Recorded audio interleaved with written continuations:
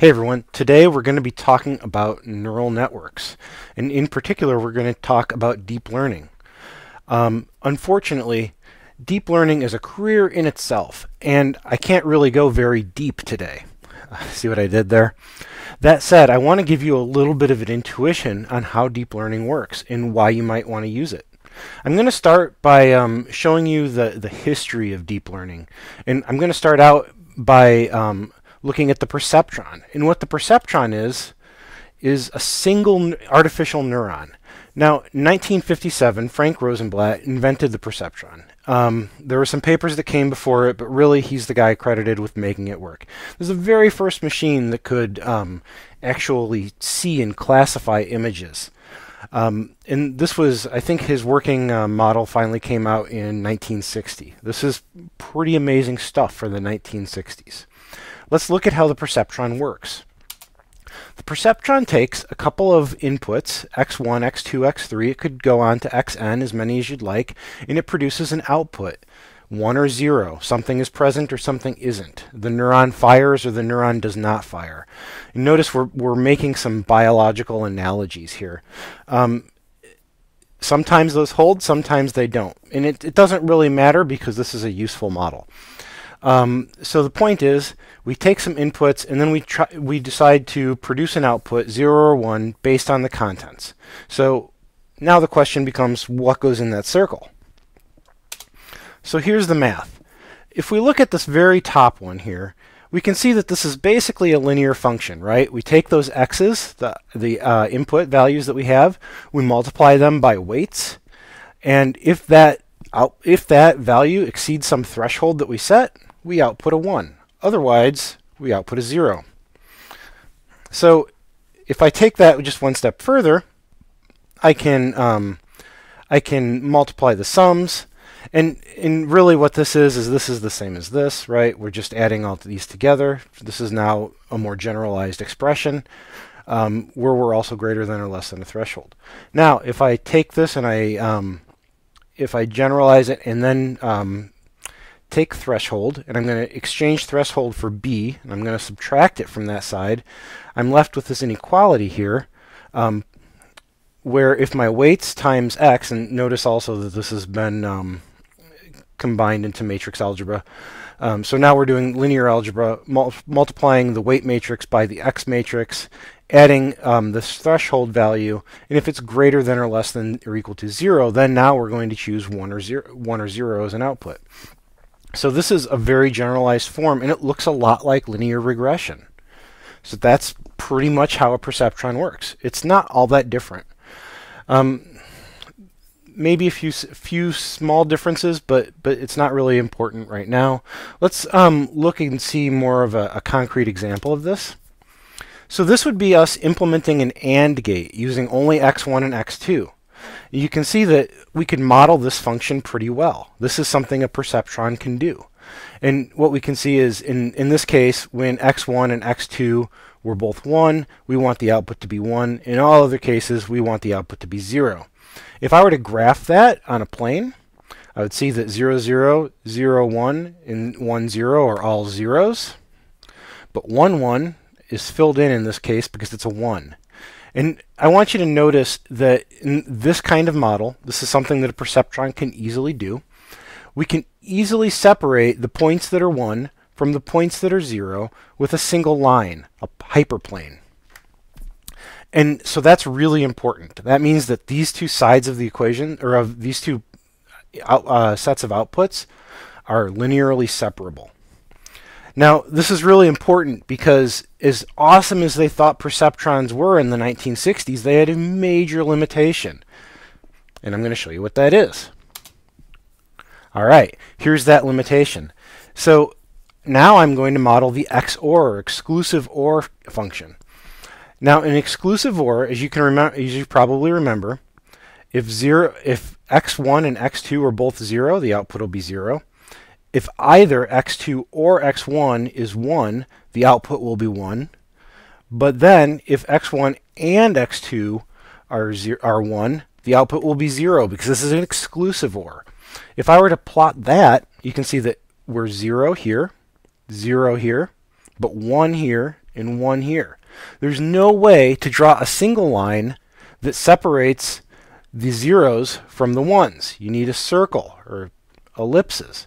And so this is a nonlinear function. So something as simple as XOR can't be modeled by a perceptron.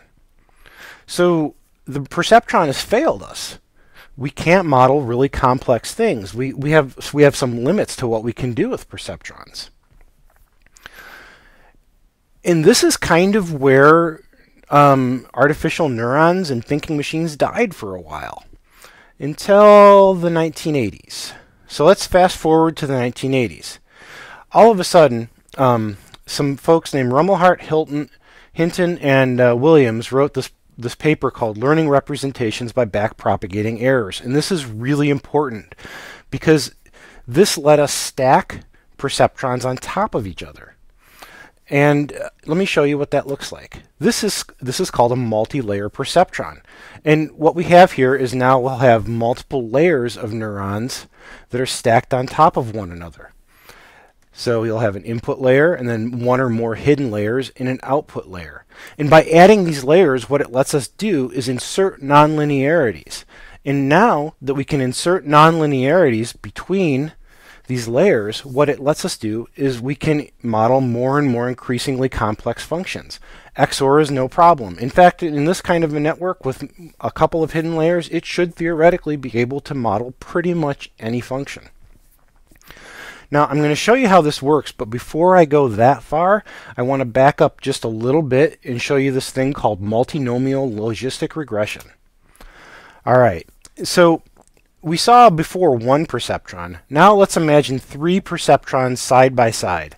Let's say that our task is we need to classify a letter as being an A, a B, or a C. So this is this is a multinomial classification problem. Um, so what we can do is if we implemented the math that I had shown you before, we can train a we can train each of these as their own little classifier to um, be able to predict is this is this letter that I'm showing you an A? Is this letter I'm showing you a B? Is this letter I'm showing you a C? And then we're going to get some output like a 3 or a 1 or a 0, 0.2. Now back in um, logistic regression that we did in the beginning of the course, we used the sigmoid function to squash this into some number between a 0 and a 1. All right? Okay, so now we're going to use another function called softmax. And what softmax is going to do is it's going to take all of these outputs together and it's going to squash them all together into a list of probabilities. And so what the, what's really cool here is that these these numbers now are going to um, show us this entire system of classifiers as a single classifier and its confidence that the input is an A, a B, or a C. And now these probabilities should add up to 1 because these are prob well, because they're probabilities. So this is what softmax looks like. Um, and softmax is a really important part of neural nets. Um, here's the Python implementation. And then here is the math. So what we're really doing is we're taking for any individual x sub i, um, these would be a score out of one of the one of the uh, the uh, logistic regressors that I'd shown you earlier. Um, it takes uh, e to that power, and then it sums e to all of the powers of the entire contents of uh, some vector x, so that uh, you normalize it by that. And this is going to give you for each observation, the probability of that observation versus the rest. This is pretty cool stuff. Try it out. Okay. So with that piece of information, I'm going to now move on to the thing that makes multi-layer perceptrons work, and that's stacking neurons. So what we can do is, remember this is the math from a single um, neuron. We can stack a neuron with another neuron but now we don't want to just stack those without without any sort of um, without introducing a, a nonlinearity. If we did that, it would really just be the same thing. It would just be a wider net. Um, so what we want to do is we want to introduce a nonlinearity. Now, a really easy non nonlinearity to use is called ReLU. And this is rectilinear activation. And what it is, is it's a function that says um, return the max 0 or x. So if this is is this is less than zero, the answer is zero, and if the, if it's greater than zero, the answer is itself. Now, um, this is really cool. This is a really cool function because, um, as we find out later, it's going to be really important in training our network to be able to compute the derivatives of all of the functions in the network. And this is a really easy function to create the, compute the derivative of. It's either 0 or the derivative of x, which happens to be 1. All right, so this is an easy, lazy nonlinearity that we can induce to stack neurons together. And this is what lets us have that multi-layer perceptron. Now, there's one other thing that I want to introduce you to, and this is the idea of backpropagation. And I'm going to try and introduce you to this idea with using almost no calculus. So, if you remember the, the picture I showed you of a multi-layer perceptron, there's multiple there's multiple perceptrons and they're all stacked together. And in, in between all of those, there's those nonlinearities, right? So how do you train something like that? How do you how do you deduce deduce that into a numerical optimization problem? Well, it's actually not so hard. Um, what you can do is when you take any um, training example, you can show that to the untrained network and you propagate it all the way through and then you need a cost function that measures how wrong you were, just like linear regression. But then what you're going to do is you're going to adjust every weight in every perceptron across the entire network by the partial derivative of the cost function with respect to any weight in the network.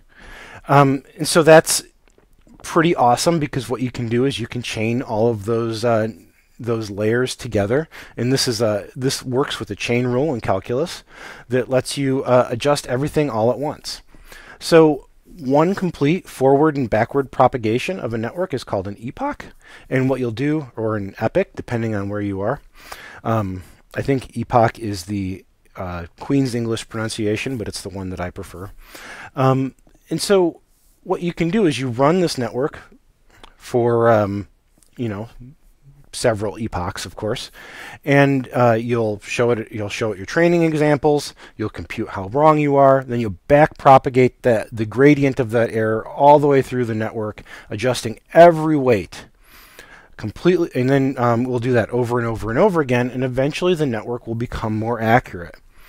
Now, there's a problem with this though, and that's that. Think about how many weights could could exist and how many updates would need to happen in even a modest sized network.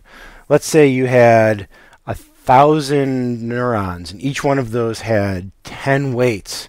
You can imagine that there's, you know, sometimes in, in some networks that, that I've worked on, there can be millions of weights that need to be adjusted.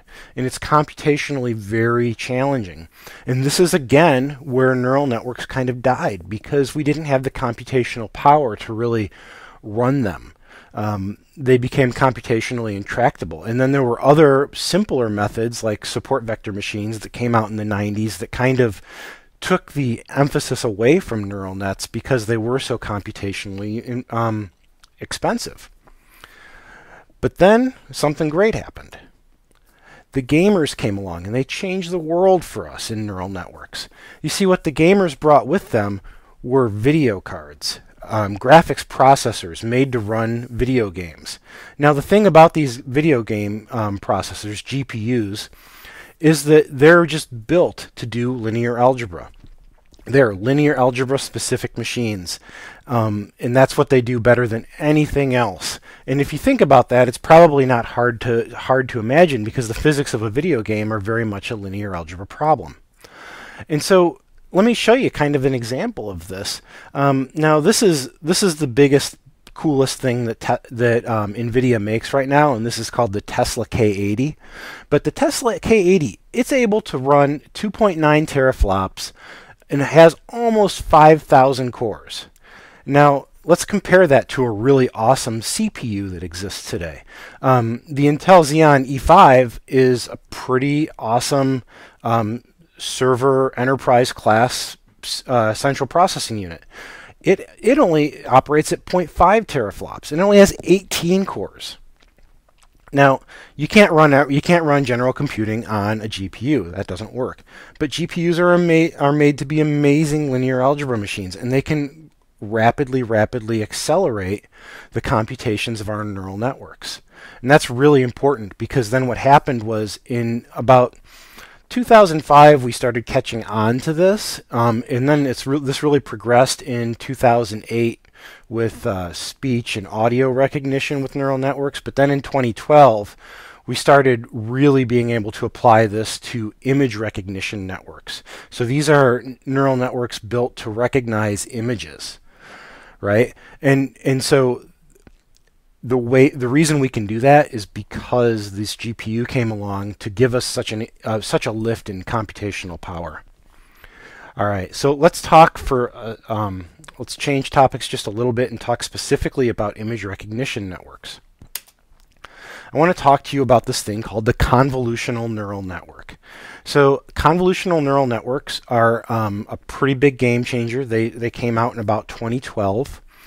And what they do is instead of that first layer looking at all of the features in an image individually, what they're going to do is they're able to look at the entire picture as a whole and they're able to take a slice out of that picture and then um, share weights on that slice and convol in in in um, run this convolutional layer on it so that we can um, extract features and and learn deeper things about the image. So no longer are we looking at every pixel individually, but now we're looking at swatches, swatches of pixels together. And how this works is this convolutional layer kind of runs back and forth across this. If this pink box were an image, it runs back and forth like a paintbrush. And what it then it does is it extracts features and it begins to learn things like shapes um, and then it'll propagate them up to different layers. Now remember before I had showed you the multi-layer perceptron, and I think my multi-layer perceptron had two hidden layers. Now what I'm going to show you here is a multi-layer convolutional neural network called AlexNet. AlexNet is pretty much state of the art. Um, there's some stuff that's come across afterwards, but this is really pretty much it. And so what I'm showing you here is a convolutional neural network that's very deep. And when people say deep learning, this is what they're talking about. And so you can imagine we're looking at a, an image here that's um, 224 by 224.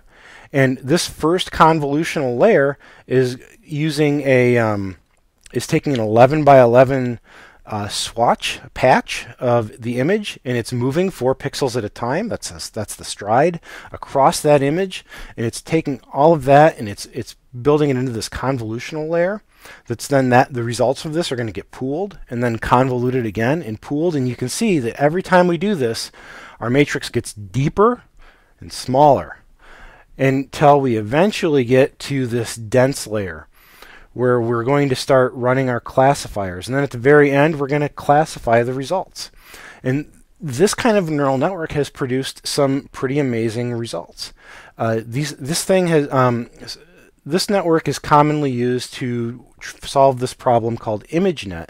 And what ImageNet is, is it is a, um, it's a collection of, I believe, a million images of 1,000 different um, classes. So this is a 1,000 way classifier. And um, this is a, a, reference problem that's used to see how well we're able to solve image recognition problems. So really, we're getting to the point here where AlexNet is able to recognize common visual items um, in photographs by using this technology. All right, so that is 20 minutes overview of everything from our friend the perceptron to convolutional neural nets.